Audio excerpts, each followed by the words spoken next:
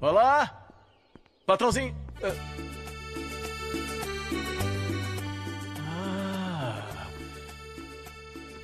A senhora deve ser a esposa do patrão, não é? ah, mas tinham razão. Com todo respeito, patroazinha, a senhora é bem bonita. Obrigada. Muito prazer. Muito prazer. Meu nome é Macário Peralta. Eu sou um amigo do Alessandro e agora vou trabalhar aqui. Ah. Vou ser a mão direita dele. Bom, olha, eu não. Oi, Macário.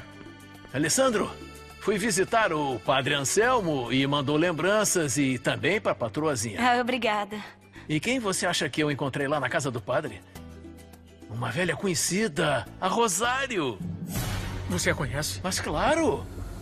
Ela ia se casar com um amigo meu, um camponês, o Jacinto Sanches. É. Mas ele apareceu morto lá no campo e quando a polícia veio investigar, o seu Benjamin a culpou de tudo. E ela foi direto pra cadeia por assassinato. O quê? Foi o meu pai que mandou a Rosário pra cadeia? Sim, claro. Eu lembro da coitadinha chorando dizendo que era inocente e era inocente. Mas parece que o seu Benjamin viu tudo com os próprios olhos. Mas eu acho que aquele velhote só disse um monte de mentiras. Meu Deus, eu nem sabia que a Rosário tinha sido presa.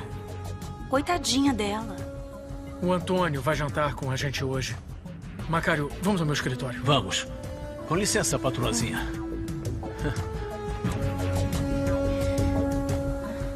Senta aí. Patrão, você soube escolher bem. A sua mulher é muito bonita. Parece até uma virgem.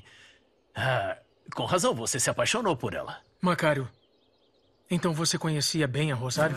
Isso mesmo. Eu não disse que conhecia ela por causa do Jacinto? E também conheceu a outra Rosário? Ai, caramba. É isso que o padre Anselmo disse, que havia outra. Mas é claro que havia outra mulher chamada Rosário. Eu estou falando da minha mãe, Macário. Eu já sei, eu já sei que a sua mãe também tinha esse nome. Isso. Mas eu só conheci uma, essa aí, que também acabou de sair da prisão. Não, não, essa mulher não pode ser a minha mãe. O meu avô e o padre Anselmo me disseram que ela morreu. Eu não acho que eles tenham mentido.